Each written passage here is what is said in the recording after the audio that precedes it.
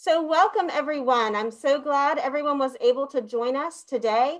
Um, we are celebrating inclusive employment here at Northstar Academy. We're so pleased to have you join us to celebrate uh, National Disemployment Disability Employment Awareness Month, excuse me. And, and thank you very much for taking the time out of your day to be here. Um, just a couple of housekeeping things before we get started. Uh, again, just a notice that we are recording this webinar and wanted to make sure that I notified you of that. Second of all, um, we're gonna ask that everyone who participates keeps their cameras off and their microphones muted. Um, and this will just enable fuller participation by everyone.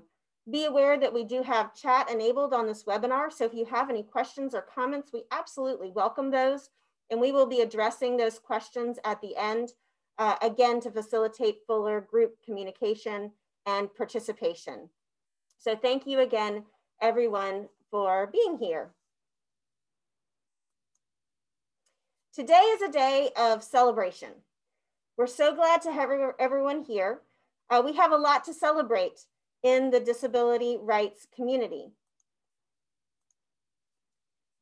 This year marks the 30th anniversary of the Americans with Disabilities Act. And this really brings us to reflect on a broader trend that is happening in our community. Sometimes when we think about disabilities employment, some of the first things that come to folks' minds are that we need to think about ways that we can accommodate and support individuals who maybe work a little bit differently or face different challenges. But today, I would like to celebrate some of the changes that we have made on a community level, because those things are absolutely critical to opening doors for people who need to take advantages of different ways of learning and functioning at work. I like to compare this to the differences between the things that people do on a daily basis to make their lives run smoothly and the importance of a community infrastructure. So I just like to invite everybody for a moment to think back about the basic things you did to get your day started off well. Looks like everybody got up this morning and took shower. Maybe you didn't drive to work because of the current pandemic, but you were able to boot up your computer and log on to Zoom and come join us. All of those things you did because you have excellent personal habits. And maybe you have some things that help you stay on track, like a schedule or an alarm or maybe a cheat sheet of how to use Zoom. And all of those things are great that you do to maximize your participation in your world. But let me draw attention to the importance of the infrastructure that has to exist for you to be able to exercise your positive habits. If the internet access isn't strong where you live, you wouldn't be able to participate with us. If you didn't have clean, fresh water piped to your house, those hygiene steps may have been a little bit tougher. If your cell phone didn't connect with a satellite or your old school alarm clock didn't connect with the grid, setting it so that you would get up this morning at the right time wouldn't really work out so well. So when we think about disability employment and access for people of all abilities, we need to remember it's not just about changes that individuals can make in their lives and ways we can support those changes. It's about how we have to change as a community and how we have to build the infrastructure in our communities, in our thinking, and in our ways of working that enables everyone to do the things they need to do in their lives to truly have access to employment. One of the, the key landmark changes that happened was the Americans with Disabilities Act that happened 30 years ago. And we have seen the, the infrastructure changes that that put in place play out over the last 30 years. And we have seen changes and growth in access to employment because of the provisions of this act. But I would invite you today to celebrate those changes and those accomplishments and also to imagine a world envisioning what the next 30 years could bring. Are we going to be where we are now? Or are we going to see some substantive change and a whole new layer of infrastructure to develop? This is an exciting time to be having this conversation because as we all know, the last six to nine months have brought an incredible amount of change and opportunity to our world. We've faced the challenge of a global pandemic and we have all have to had to change our ways of working. Maybe you've noticed my mask. School is in session. Students are here and we're continuing on with our work at Northstar Academy. As I'm sure those of you who are listening and watching are also finding new ways to continue with your life. What we have seen the business community do in the last, particularly in the US, the last six months, has been to implement the kinds of access and system-wide uh, opportunities that for so long have been denied to people with disabilities. For so long, people applying to jobs have been told, oh, it's not possible to reshape the way this job could be done, because that would just be too difficult, or the technology is not in place, or the person to person interaction on the job is just too important. There's no way you could do this job from home or with an assistive technology device, or there's no way we could reshape these job duties because they're just too critical the way they are. But one of the things that the COVID pandemic has proven is that when we really need to, we are capable of immense creativity and worldwide change. We, all of us, have that power and capacity. And I invite you and I challenge you and I thank you for being part of the conversation that's going to critically reflect and consider how if we had the same level of motivation to build an inclusive workforce, how we could sustain some of the methods and strategies that we've used recently in our communities, how could we sustain those over time so that our workforce becomes more inclusive? Today, we have two fantastic speakers who are going to share their experience and expertise. And we're really going to focus on the specific hows of how do we make this happen. We know it's possible in a lot of ways in many different places and in many different communities, we're doing this. So how do we make this possible across the board?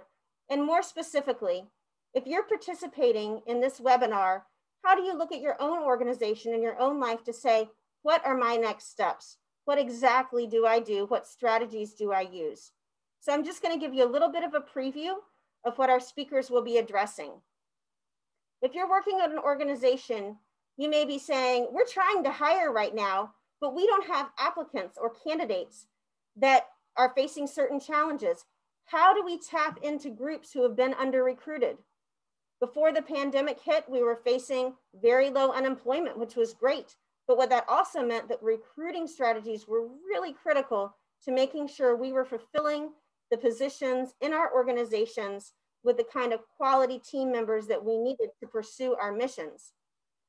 So one of the strategies we're gonna talk about today is how do you go about building a pipeline of these organizations? Uh, how do you go about building a pipeline to these candidates by using community organizations who are really experts in working with people from all different backgrounds and with all different challenges and skills to enter into the workforce.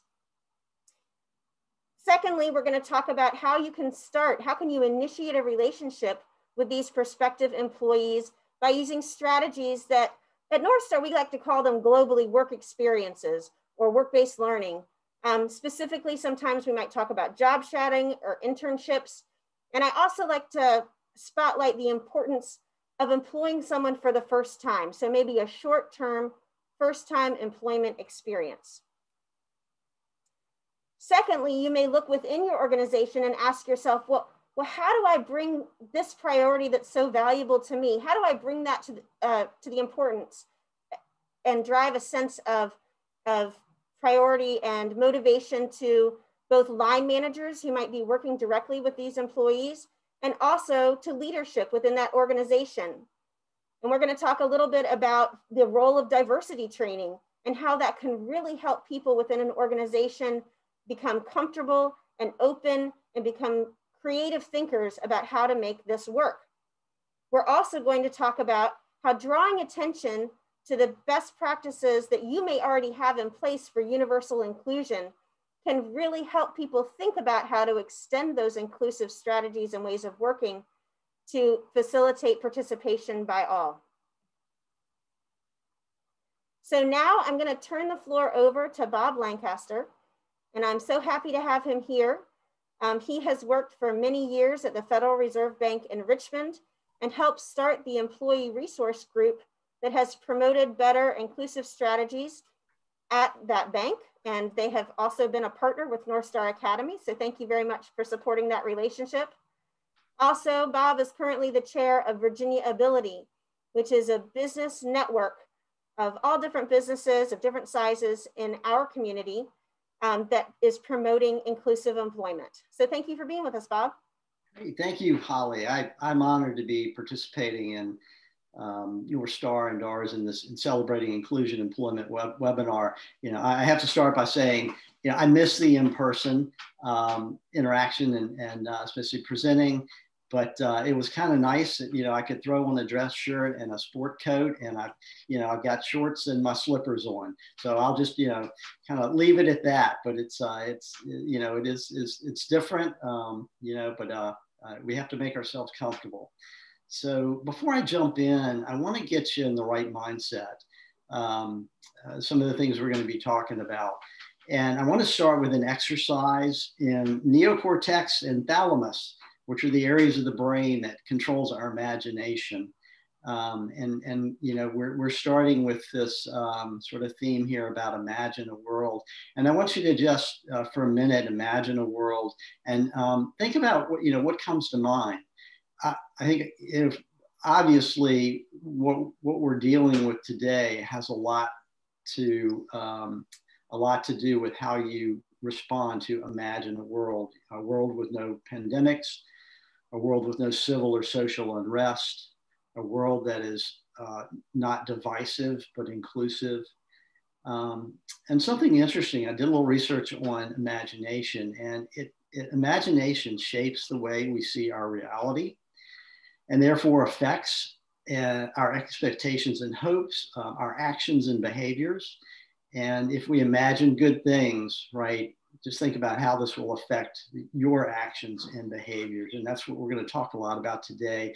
So let's imagine a world that will help shape the way we want to see reality, the way we want people to see the ability and not the disability. So imagine a world where people with disabilities and their potential are understood. Imagine a world where barriers to employment disappear and stronger personal connections are developed, a diversity of perspectives are celebrated, and inclusive company cultures are valued. So you go to the next slide, thanks. So I'm going to talk to you about how you can make change happen from within your organization as well as in your community. Um, you know, if you're participating today, you, you already know the why. Uh, so we're gonna we're gonna focus really on what you can do to make change happen. Um, um, and before I uh, before I introduce my my daughter to you, um, I'm going to tell you a little bit about myself. Uh, I think that'll that'll help, um, so you know you know where I'm where I'm coming from because I'm to wear a lot of different hats. So first off, I'm the father of a daughter with Down syndrome. It's my daughter Sarah. Um, I have almost 25 years with the Federal Reserve, serving in very diverse business and IT leadership roles, um, but was fortunate enough to um, uh, um, be involved in founding our uh, one of our employee resource groups. They've been in place for a few years, but I founded Ability Beyond the Label in um, 2010. So I'm going to be talking to you about some of that experience. I have really spent the past 26 years learning about disabilities. My daughter's going to turn 26 in November. And um, I think the biggest thing is the unique characteristics and the talents in every individual. Um, and I have to admit that a lot of that is overcoming uh, my own unconscious bias. Um, you know, when when I think back to my experience, you know, I grew up at a time where in elementary school the um, the students with disabilities, uh, those that we called mentally retarded, would be very separate uh, from you know not only our classrooms, but when we would go to lunch, you'd, you'd see them walk by on a very different schedule. So while you know, I, am certainly not, um, uh, you know, my focus on disability is, is very different, but those unconscious biases still, still come to play. Even when I see my daughter and, around some of her friends, um, you know, I, that bias will kick in. Um, and so something we just have to be mindful of and we have to practice. Um, I've served on the board, uh, as Holly mentioned, of Virginia Ability since 2016 and was previously on the board of the Down Syndrome Association for about nine years. And um, so I, I represent a dad, a hiring manager, organizational leadership, uh, nonprofit leadership, uh, an advocate, and I'm going to be speaking to you wearing all of those different hats today, and hopefully bring uh, bring some perspectives that um, are new, you haven't heard, um, you know, that you'll be able to take away from this webinar. So that is my daughter. Um, I'm going to share a quick story before I uh, kind of step you through her journey. But we go on walks together, and uh, she goes begrudgingly. She loves to do the treadmill and the elliptical. Um, she does it every day. She sets her timer for 30 minutes. She hates to go outside for walks. Uh, and in the summer, it's impossible because she hates to sweat. Um, so, you know, every now and then I'll, you know, at least several times a week, I'm like, we're going for a walk. So she goes begrudgingly. So we're out on our walk and, and she goes, she said, Dad, why am I different? Why am I so different? And I thought, oh, this is just a great moment, you know, um, to really be able to talk about her uniqueness and and uh, and her Down syndrome. So I started in. I said, you know, God all God made us all uh, unique. He created everyone with special gifts. Um, and those are the, you know, the talents that you have. And she, she and she goes, Dad, no, that's not what I'm talking about. And, and I looked at her and said, well, I said, well, how do you mean different? And she goes, you know, I'm different. She goes, you know, the other day, I, I you know, I usually don't like to go on walks. Um, you know, I complain the whole time. And today I'm just all happy. I'm excited to be here. I'm excited to go on a walk with you. And I was like, oh, that's, that's what you mean by different. Um, and, you know, so I said, you know, we all have good days, good days and bad days. Um, I said, do you remember at work, you know, you would have bad days and you have to bring your whole self to work. Um, you have to work through those bad bad days because you know your your employer wants you to always have a good day and be productive, but sometimes you just have to work through that. And um, you know, the uh, I was I love this story, but I was trying to think about how this really ties into the conversation. And, um, you know, it just struck me that people with disabilities have such a unique perspective because of how they've grown up in the world. And, um, you know, that's what makes them valuable to an organization.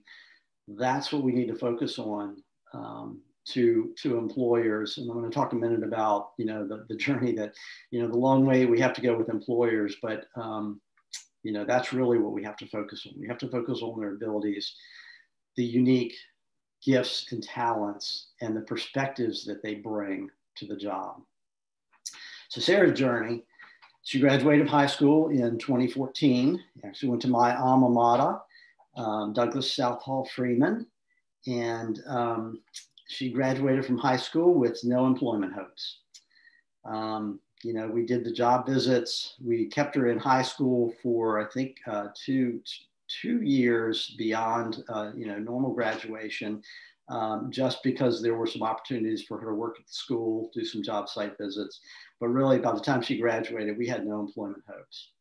And uh, I was encouraged uh, by a friend uh, of mine to enroll her into VCU's ACE in College program. And we knew there were some programs out there, especially for individuals with intellectual disabilities, but we really didn't think she was at all prepared uh, to go to college. And uh, we were, you know, we were encouraged. We, enrolled her, said, no, she'll be fine, just enroll her. And it was the uh, most phenomenal experience of her life. She uh, fully participated as a, a, college student. She was on campus most of the day. She worked um, in between classes. She had a, a student um, uh, education coach that went to classes with her and helped her, but she was, you know, part of college. And um, and and absolutely loved it. She was, as as most of us probably remember, she was, you know, uh, when we graduated college, it was a sad time. But two weeks before she graduated from college, uh, she applied for, interviewed for, and landed her first job at Discovery Village. Um, she's been employed with Discovery Village for uh, about two years, but unlike, you know, but like most, uh, uh you know, especially individuals with disabilities, um, you know, she, she was furloughed in March, has not been back since. Uh, because it's a, a, assisted living facility, they're, they're being uh, much more strict about who they bring back. So we don't even yet know um, what her return to work looks like. Um, so that's the, that's the reality. That's the, the reality that we're in today. In turn to the next slide. So we have to do better. I pulled some information from the, uh, uh, the 2020 progress report on disability, national disability policy. Increasing disability employment is from the National Council on Disability, the NCD. Uh, we were fortunate to have Neil Romano at the Virginia Forum, um, our Virginia Ability Forum last year, uh, participate. He's the uh, chair of the National Council on Disability. It's a it's a 124 page report, um, but I pulled a couple of things out out that you know on the positive side, um, you know there you know youth with disabilities expect to work. Um, and, um, you know, after completing their education, uh, and, and, you know, provided they're able to continue that, that education and there's some transition to the workplace. And now many companies um, see disability employment as a vital component. It's part of their diversity and, and inclusion, um, um, you know, uh, responsibilities in the organization probably more so they see the strategic, um, you know, the, the um, how it affects their bottom line, improves their bottom line. Um, and I'm, I'm going to talk a little bit more about that in a minute. But sadly, uh, uh, and especially in today's unemployment, the labor force uh, participation rate is uh, well below people without uh, disabilities. Unemployment rate is uh, very high. And um, I think this statistic was I believe a couple of months ago, or it says August. Um, it's been even higher over the past six weeks. We're in double digits um, and have, have, been that way for about six weeks. So just think about how much harder that has hit people with, dis, um, with disabilities.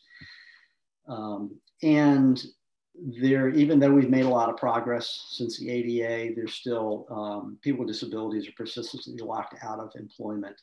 Um, there are disincentives and you know, that we're not going to talk about today. But uh, we are going to focus on the other side of the equation, which is, um, I think, most important. That is employer um, engagement and involvement.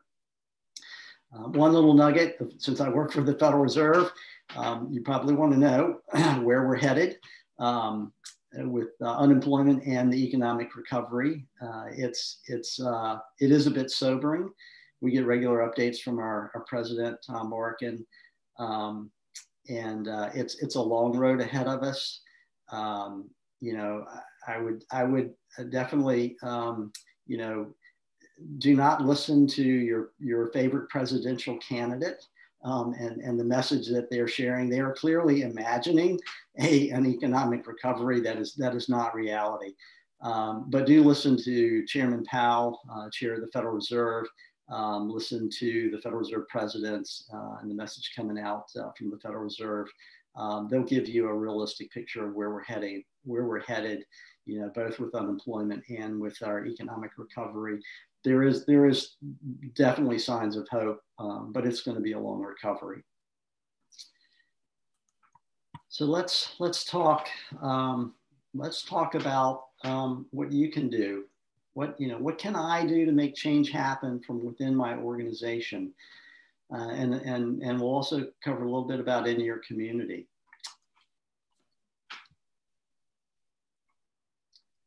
So um, before I jump into the employee resource groups topic, I did want to um, share some learnings from this week. I attended a national um, National Organization on Disability, the NOD, uh, annual forum on Wednesday, and there was some good information that uh, that was shared in that forum.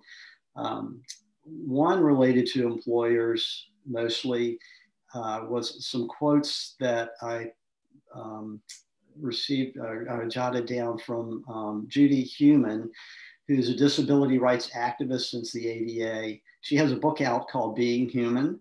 Um, she spells her name H E U M A N N. Um, and I uh, can't wait to read the book, but she talked about employers have a long way to go.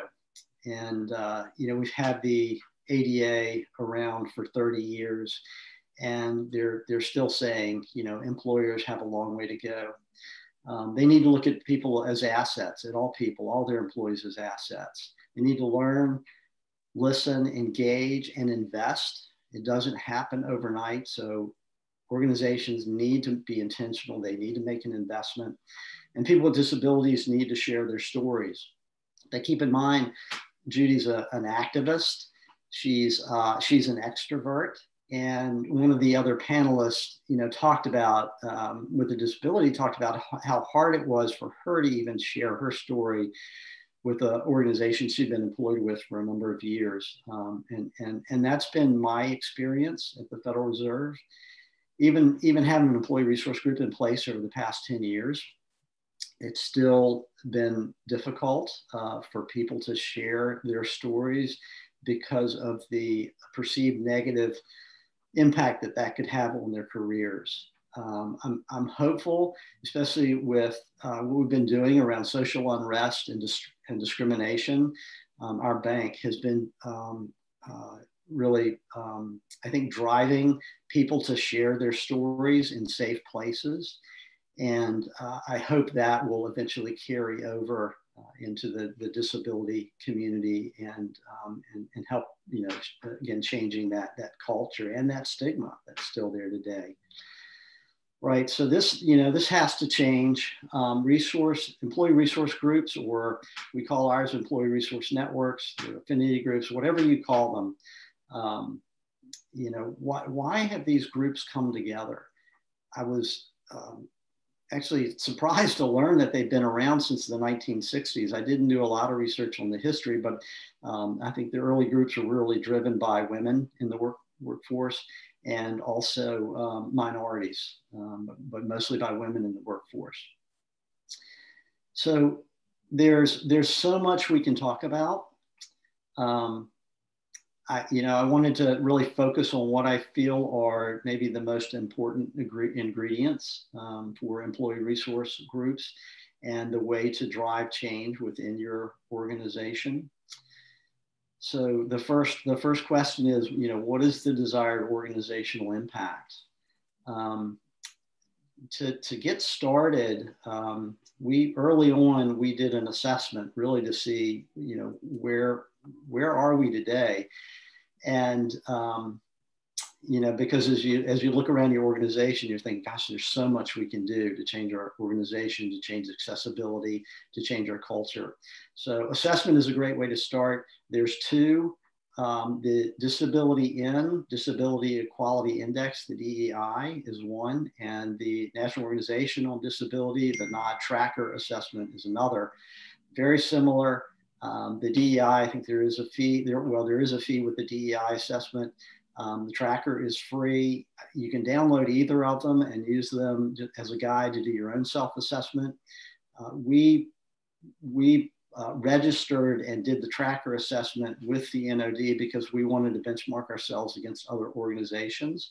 You can do that uh, by opting in or opting out. And what that means is um, you can opt in to be scored and uh, they and, and part of their reporting out, um, they don't provide, they don't report out any details, but they do report out sort of a, at a high level results and um, kind of based on your um, uh, what type of organization you're part of.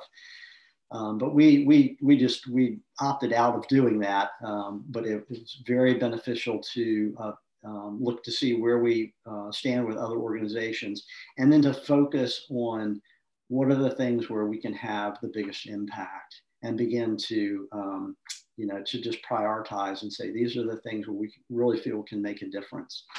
Um, and it, and it, it, takes time. It's a journey. We're still working through the assessment. The first one we did was in 2017 we just did another one this year. Um, build relationships and, and, sense of community.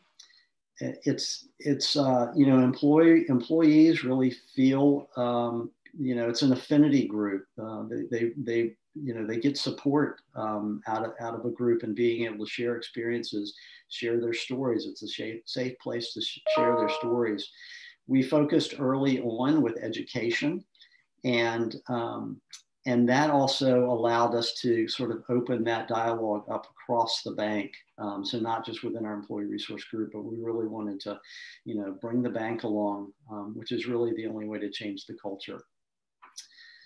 Um, build relationships and um, sorry, we just talked about that one. Um, driving change within the organization. Uh, this is the hardest, definitely the hardest if you don't have executive support. And um, in the past 10 years, we've been in, in various places on that curve uh, where we've had very strong executive support, where we've had um, very little executive support, and, um, and it's challenged to make headway if you don't have that. Most employee resource groups have executive sponsors, you know, that will help um, uh, drive change and, and be able to make decisions that will affect the organizations.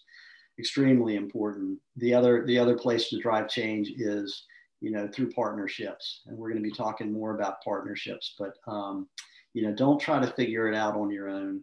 Um, I, I, first connected early on with with Wes Seaton. You're gonna, uh, and you'll you'll see why um, he's such a great resource with DARS uh, led me to other connections, led me to Virginia Ability.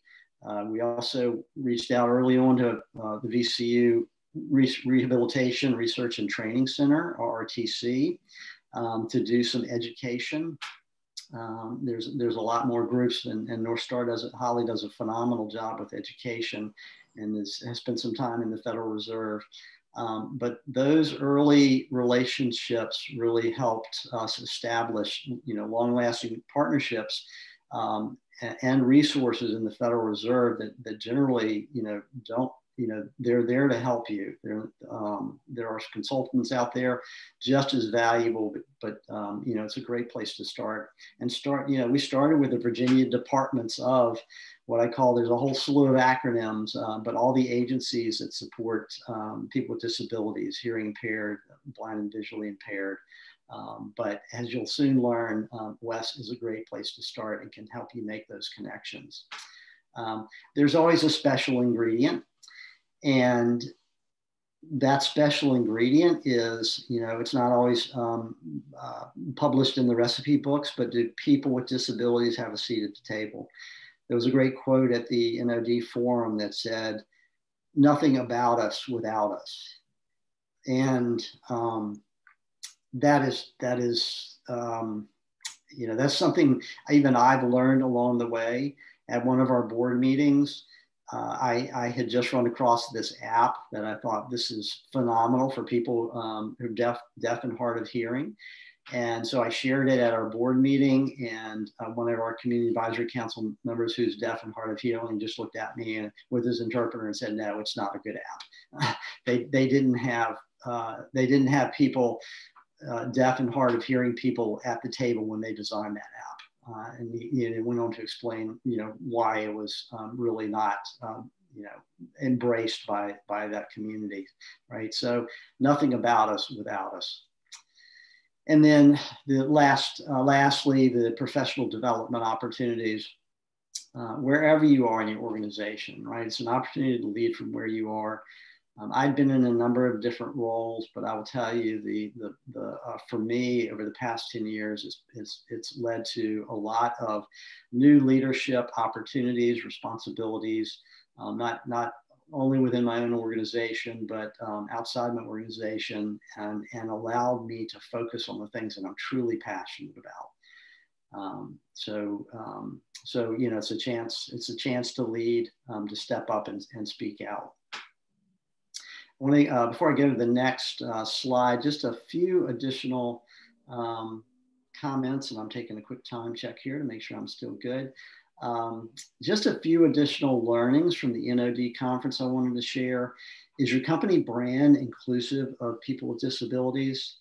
And obviously, you know, companies that have a um, are for profit, um, commercial companies, you'll you'll see advertisements. Not many with with people with disabilities, visible disabilities in the advertisement, but um, you know the the uh, Target, Charter Communications, and uh, Facebook all participated and shared their stories at the NOD conference, and um, truly take it to heart. So you you know you you know the companies that really have embraced this in their brand for the Federal Reserve, we don't have anything to sell, right? But it's the brand is important because if we're not putting it out there, we're not attracting those individuals uh, to our jobs, uh, and we're not going to help, you know, um, change our culture within if we're not reaching those individuals. So the branding is is, is very important. Is accessibility part of your company's culture? Um, you know, uh, uh, I mentioned Target. Um, one of the things that they shared is they build accessibility into um, uh, all of their their digital um, access accessibility um, technologies. So for people shopping, you know, um, for instance, they have uh, uh, accessibility teams that come together and um, and and core to that are individuals with disabilities. Um, in the early in the design and it doesn't have to take time. They do things in two week sprint cycles if you're familiar with agile. Um, you know and, and, especially in the commercial um, space uh, you know needing to turn things out quickly. Um, and then the, the last um, one i wanted to share with you is does your company view accommodations as something that employees have to request or, or does your company practice um, design principles, university, universal design principles that make the workplace work for everyone? Um, and, and, and there is a distinction. And, and, you know, I'll share even at the Federal Reserve, I think we're, we're still going through a little bit of that, that shift in, you know, we're great at if an employee comes and needs an accessibility, we can meet those needs. But um, you know, we don't do things um, universally that will support all employees, um, not just people with disabilities. So it, it definitely takes um, a, a, mind shift, uh, that universal design principles mind shift in your organization. The uh, uh, Charter Communication uh, calls their uh, design universal design process, they call it born accessible. All right, so let's talk about community partnerships.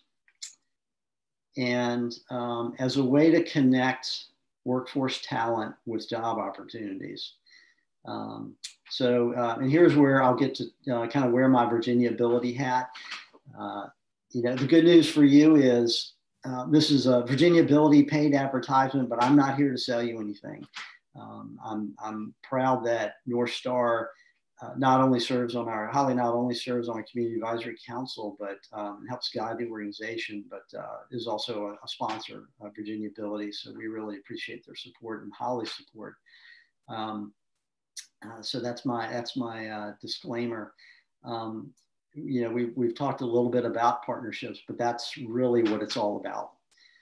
Um, Virginia Ability uh, is about cultivating those partnerships and working with businesses and as a resource to make those connections to help you know to help drive home the message uh, at the federal reserve our early involvement with virginia ability was um, you know helped us move move the dial um, exponentially in terms of where we wanted to go. Um, you know it was through those partnerships with virginia ability with DARS, with Northstar, with VCU, and other, other organizations that we were able to start, you know, breaking down uh, employment barriers um, and barriers within our organization. Uh, and we started with, you know, we started with, um, we started small. We started with mentoring and career days. Uh, we hosted mock interviews.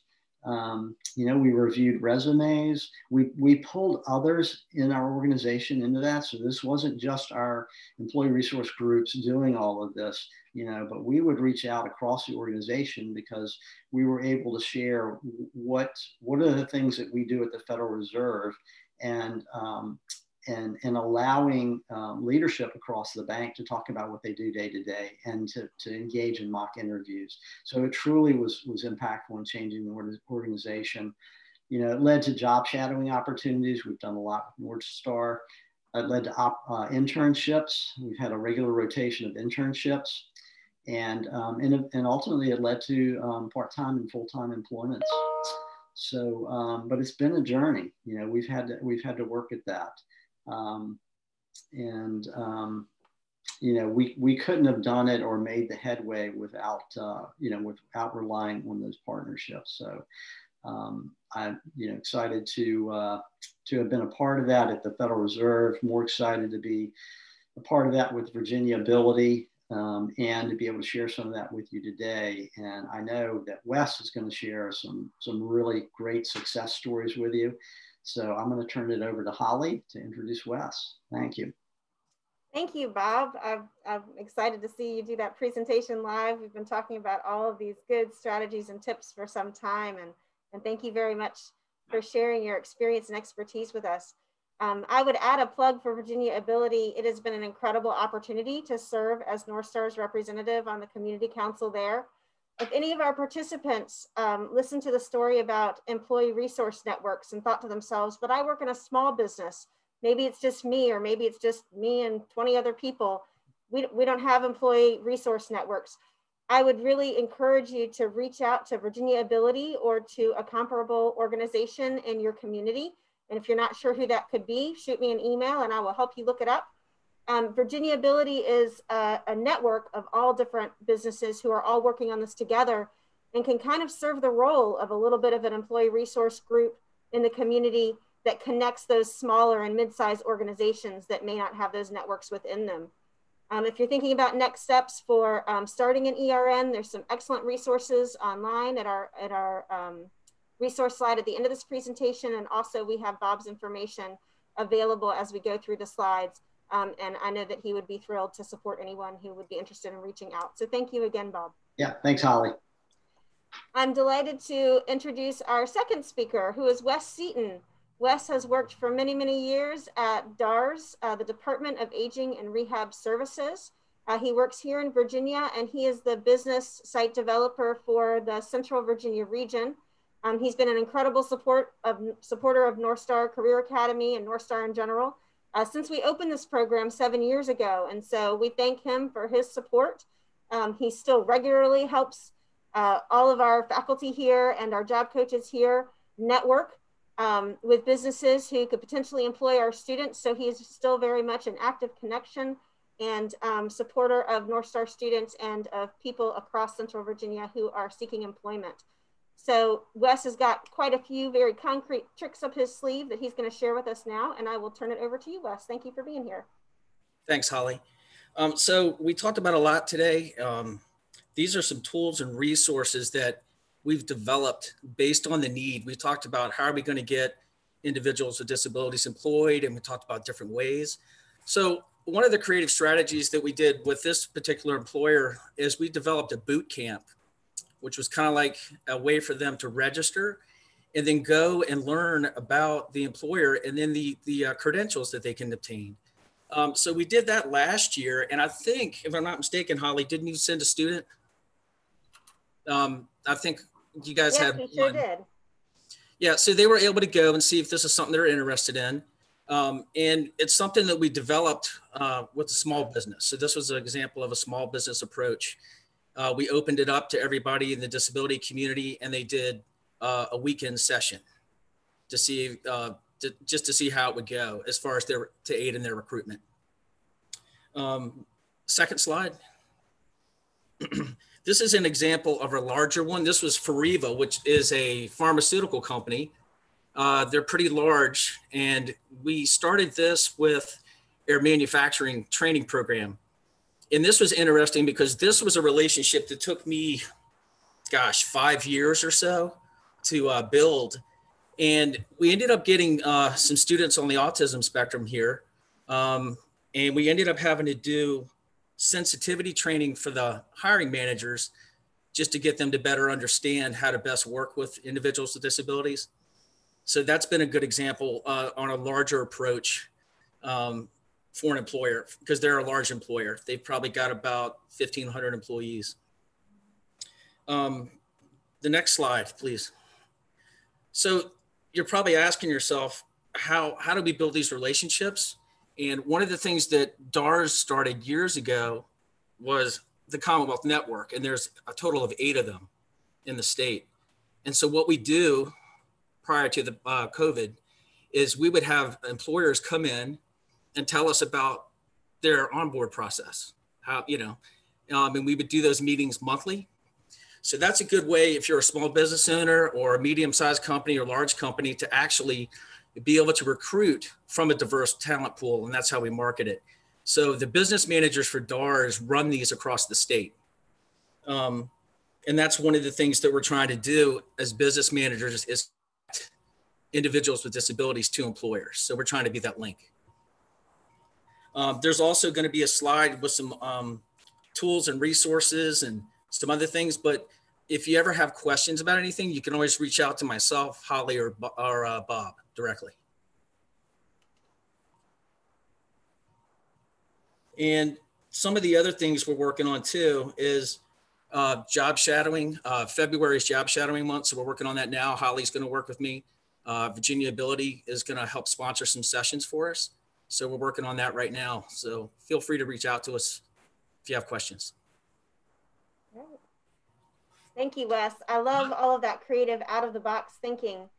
Um, I know that we have a lot of business owners and um, people who are in key leadership positions across Central Virginia who are really wondering about how to take those concrete next steps.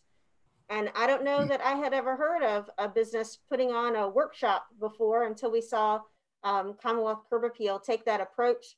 It was a two day workshop, and that allowed that small business owner to just show a group of interested community members what his business did uh, one of our students was able to go, and that meant by the end of the workshop, uh, that employer had had two days to get to know all of those interested applicants, and he was able to pick and choose someone that he could potentially network with and recruit to be a, a candidate. In the meantime, everyone who wasn't recruited to be a candidate walked away with a credential if they earned it. So it was a really creative win-win. I'd like to draw attention to one more um, tool that's available to you. Uh, Virginia Ability does have a website where uh, if you are a business and you're trying to recruit uh, candidates for positions and you would like to diversify the pool of candidates that you recruit, um, Virginia Ability has a, a, spot on their website where, where those things can be posted and you're welcome to reach out to Bob Lancaster to get more information about how exactly to go through the, the logistics of posting that. So I'd like to thank again Bob and Wes um, Northstar has had the benefit of their partnership and their support, and it has directly impacted in a positive way um, our students' growth and development. And I'd also like to pause for a few minutes and celebrate our additional many business partners. We're up to 50 some business partners that we have long-term relationships with. Um, not all of them are active every year, but we have so many people who come in and support our students.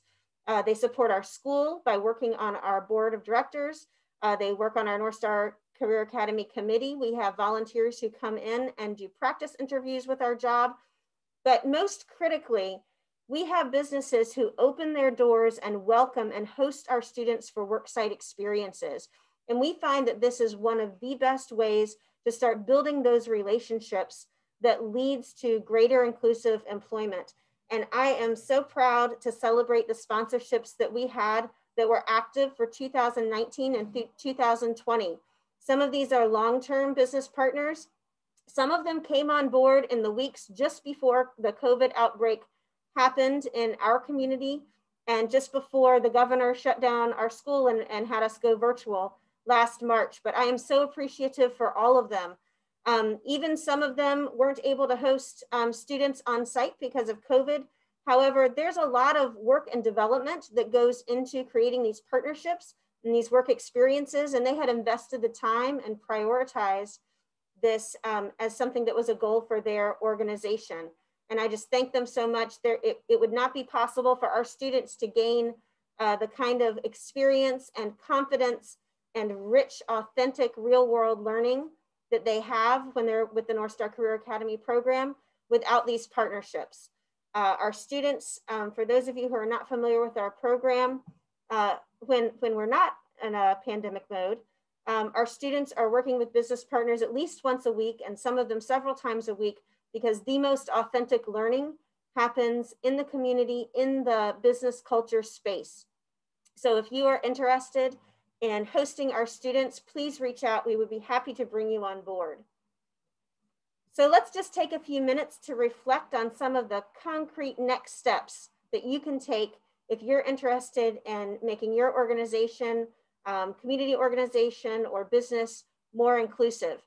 One of the first things you can do is reach out to me, or, or Wes will do this too, and when we will come out and, and we'll walk through your business. And I know right now a lot of people are working virtually, and that's okay. We can do a virtual walkthrough of your business because what we'll do is we'll look through a different lens at the different functions and roles within your organization, and we'll try to pick out spots that would be good opportunities for supported employment or customized employment. Maybe some positions that have traditionally been structured in one way could be parsed and shared um, with different people doing different parts of the job or having positions shared between different people, or maybe having certain duties that have been spread out amongst a number of different positions could be consolidated. And those kinds of customized positions would be an excellent entry point for someone who may be experiencing uh, challenges in another area um, for them to join your workplace.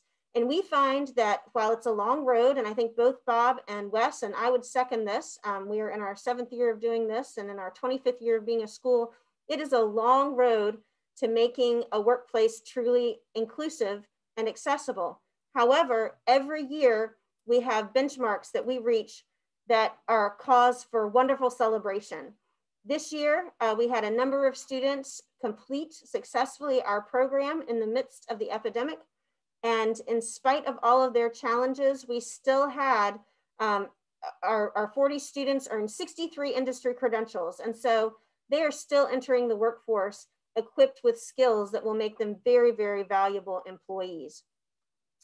A second thing that I would invite you to do is try to identify other key people in your organization who are motivated to make this kind of partnership happen. Uh, ballpark, we typically find that if, if you just had a group of your employees together and said, hey, who, who's interested in maybe doing a worksite experience with some students who, who face some challenges, one out of three people will raise their hand.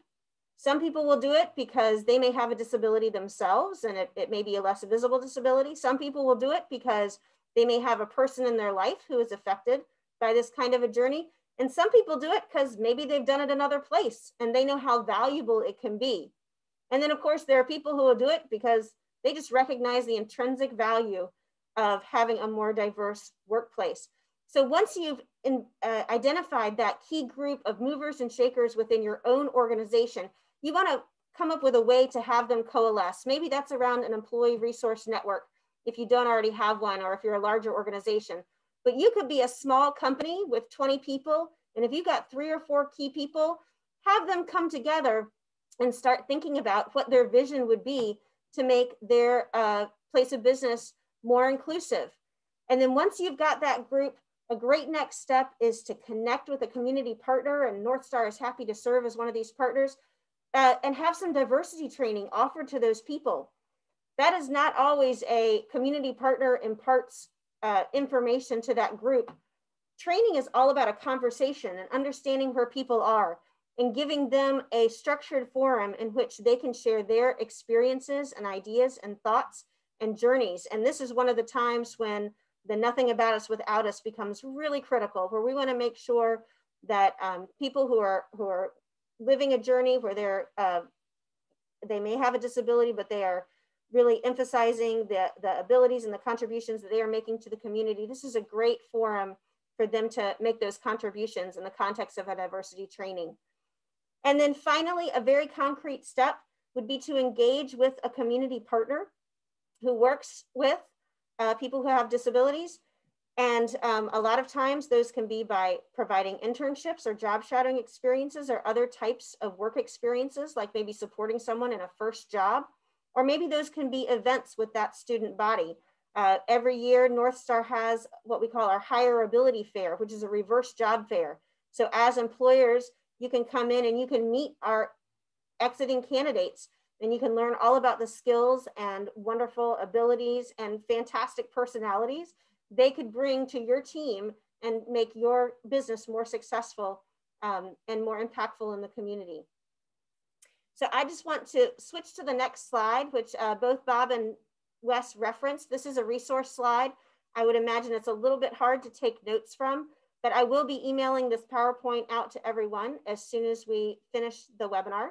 So thank you very much for being here. I'm just gonna pop back to this slide and invite Bob and Wes and Katie Hennekins, the Northstar Career Academy Assistant Director, to come and join me on screen. And we're gonna take a, two, a few minutes just to address any comments or questions that may have popped up in the chat as we have moved through the presentation. Welcome, Katie. Hello. Um, we have um, just a few questions in the chat to start with. Um, so the first is, um, any um, hints for parents who want to advocate for their young ch adult children with disabilities? I can I can maybe take that um, initially as a as a parent with a young adult with a disability uh, who's turning 26. The uh, being an advocate is is probably the most important thing you can do um, even with your young adult. It, you know, it's it's the role of the parent, um, and it's a lifetime role. Um, having said that, you know, our goal was to get her employed and independent.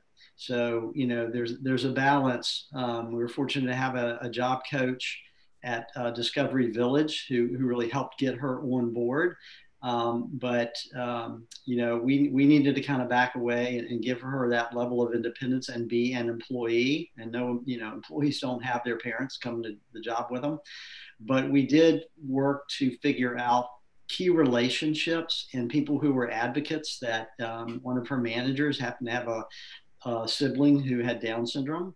And so we were able to determine and make some key relationships where we could just keep a check on how she was doing. And when she had a bad day, and early on, trust me, she had a lot of bad days. Um, we were able to reach out to somebody and say, hey, you know, here, here's something going on in her life that you need to know about. So it's a little bit of a balance, but you know, they got to, they have to stand there on their own, and you want them to be independent. Great, thank you. Um, at this point, there are no other questions in the chat, so we just invite anyone um, who is participating, feel free to put a question in the chat for our panel. And I would also add that um, that's actually perfect timing because we are almost exactly on time to go ahead and wrap up the webinar at 1230. So if you hadn't put something in the chat and, and you have a question for us, um, when you get the um, emailed PowerPoint, you will have my contact information, Wes's and Bob's, and please feel free to reach out. Uh, relationship building is the key to all of this. Uh, networking and asking questions. And if I don't know an answer to something, I'm going to see who I can find who does know the answer. And if I don't know the person, I'm going to reach out to Bob and Wes, and one of them is going to know the person, and, and we're going to work on it until we find some sort of a, a resolution or direction. Um, this is a process. This is a long-term investment. We started by talking about imagining a world, reflecting on the fact that we've come 30 years. We're thinking about a whole next generation. Where are we going to be in the next 30 years? So I can say for myself, and I think I speak for everyone on the screen right now, that we are committed for the long term in making this happen. And we're just so grateful for all of you for joining us today or for streaming this webinar later when it is available on our website. And I thank you for your commitment to making inclusive employment for everyone. Thank you.